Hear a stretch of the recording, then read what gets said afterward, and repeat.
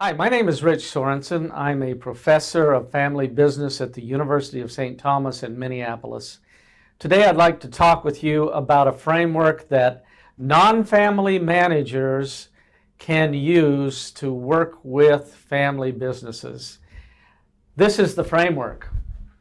Uh, it's called the landscape of family business. The, the two there are two dimensions to this framework. There's a long-term dimension and a short-term dimension. And there is a business and a family dimension. As you'll see in the middle of this framework is a is governance. Uh, and the main important part of governance is that family owns and controls the business. What I, and, and you'll see here that there are four quadrants. There's the business performance quadrant, there's a strategy quadrant, there's the succession quadrant in the long run, and there's family dynamics.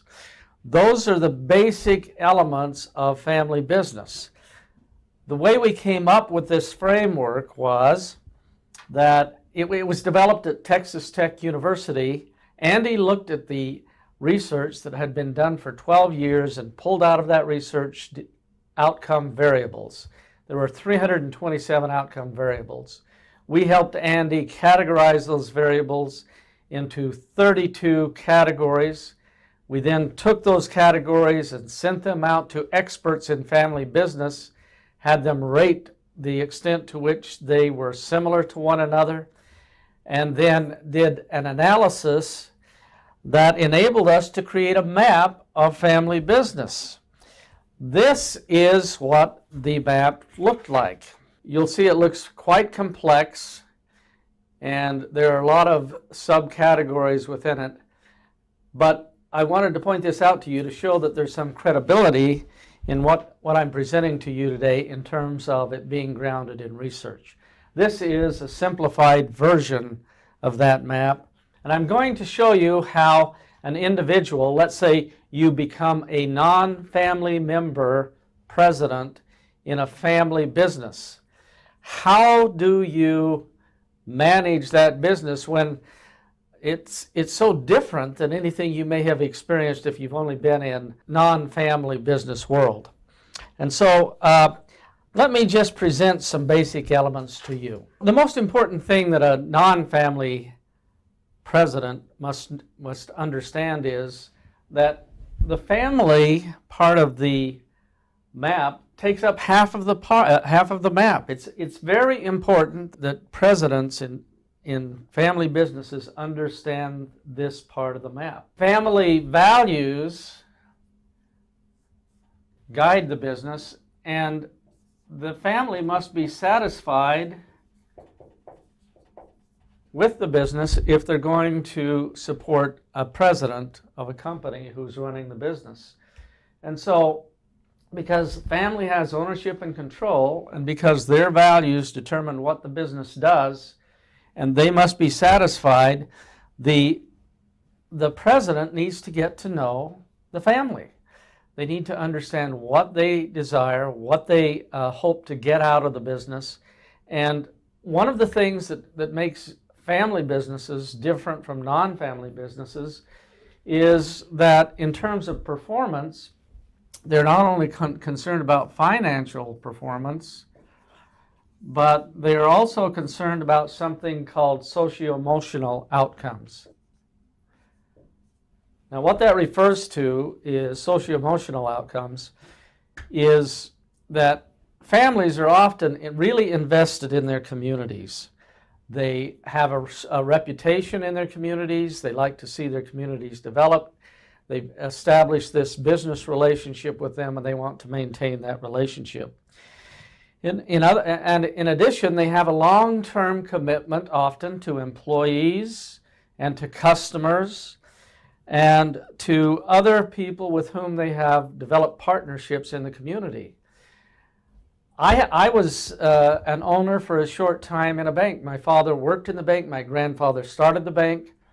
And uh, although I had very little to do with the bank when we sold it, I felt an emotional loss. I felt like something was missing because we no longer had the bank. And I, I still regret our not keeping it to this day. And that, that that's a pretty common thing in in owning families is that they become emotionally connected to the bank and its relationship to the community.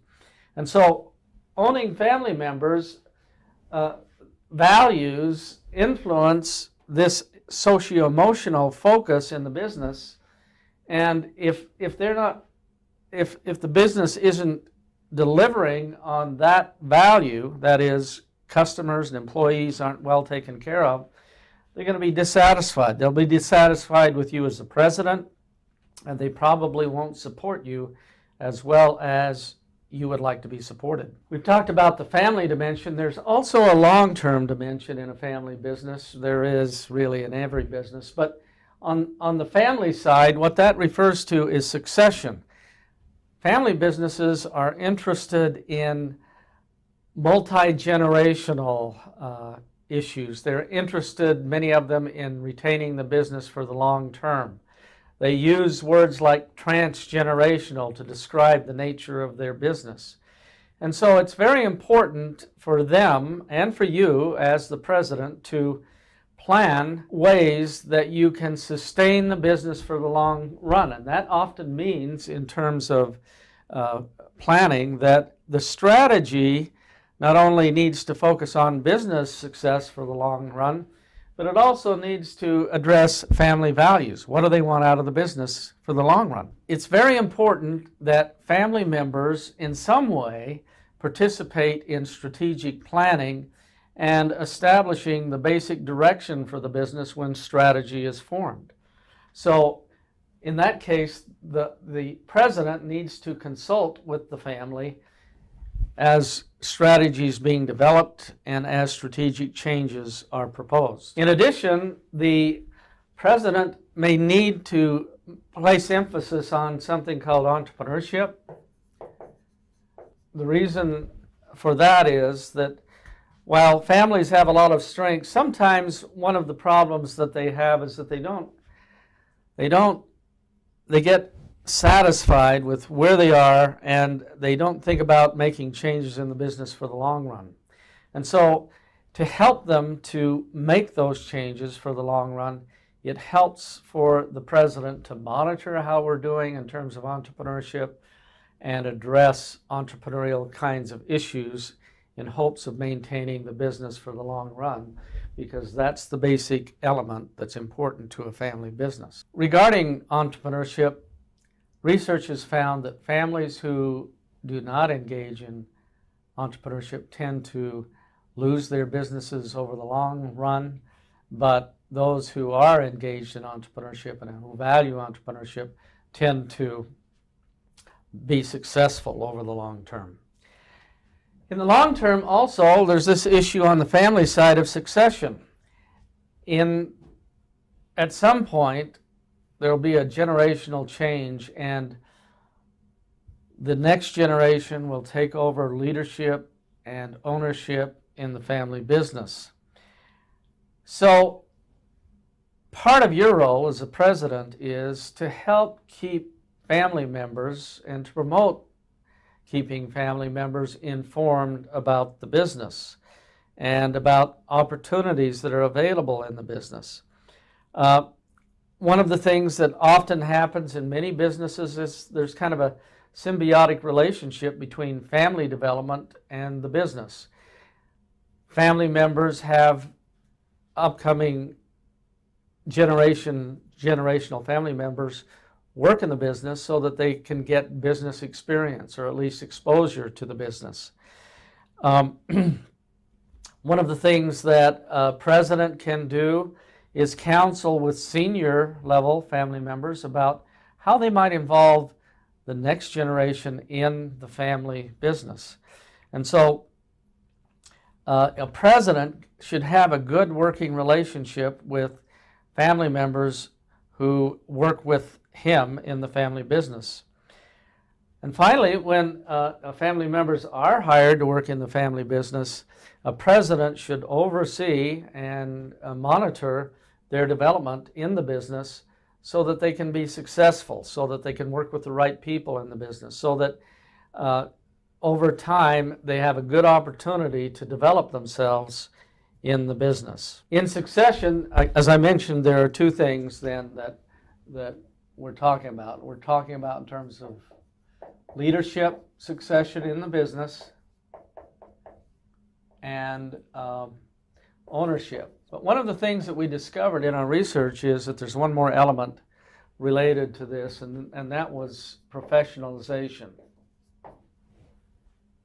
When businesses first start, an entrepreneur will create the processes and the uh, structure and so forth that, that makes sense to them and that is responsive to the marketplace. In the next generation, one of the things that's often needed is that the business needs to become more professionalized. Family members must be prepared to bring professionalization to the business. They can do that in a couple of ways. They can get education, they can go out and get um, have other opportunities to work with other businesses and bring what they learn back to the business. Well, in terms of professionalization, one of the things that a president could do is to counsel with family members about opportunities that are available out there, particularly in the industry that they're involved in, and help find uh, educational and position opportunities for family members who will end up working in the business. Okay, finally, uh, we come to this section in the landscape map, the governance section. In order for a president to make sure that all of these things happens, there needs to be coordinating mechanisms. As I mentioned before, uh, the, the real key element of a family business is family ownership and control. When a family owns a business, they have much more leeway in terms of doing things than do owners of publicly owned businesses. That is because they can agree on more things that are important to them. When you get a lot of, of unrelated owners investing in a, in a in a public company, usually the only things that they can agree on is, is uh, performance, financial performance, and the uh, way the, the company is run, the professionalization of the country, company. As I mentioned, the family, on the other hand, is interested in socio-emotional outcomes, the community, employees, and so forth. And they're concerned about the long term strategy that will sustain the family over the long run. How do you go about governing both of these elements in order to uh, be successful in the business and at the same time help the family? Um, there are some decision mechanisms decision mechanisms that can uh, help help the president accomplish this. One of them is called a business board, and the other one is called a family council. The board helps the president make decisions and guides the president making decisions that are responsible to both the business and to the family. This board will be a great, great tool in helping the president, you, the president, govern the business. But a family council can also help a lot because when you have many family members in second and third generations, there are so many of them often, or even three or four of them, that it's difficult for them to make decisions. And so they need a mechanism to help them to make those decisions. And that mechanism is a family council. What a family council can do is it can help owners agree on what are formally our most important values. What are the policies that we want to see put in place in terms of hiring and uh, uh, hiring family members and, and providing ownership to the family? What are our general overall policies about uh, doing business, about our strategy in the long, long run? The Family Council can address all of those things, and then representatives for the Family Council can speak with one voice uh, to the President or to the board. Usually, uh, from a family council, there are representatives on the board. And so the family council helps to bring agreement to the family and makes the job of the president much simpler than it would be otherwise. There are three other things that can help in terms of governance. Uh, one of those things is HR policy, particularly regarding hiring uh, family members, the qualifications that are needed to hire family members. If it's left up to the president alone to make those decisions, he can uh, alienate some family members, but if there's a policy in place that's been established by the family council and that is consistent with the owning family, then it makes it much easier for the uh, owner to make the decisions. Another thing that really helps is uh, the a, a business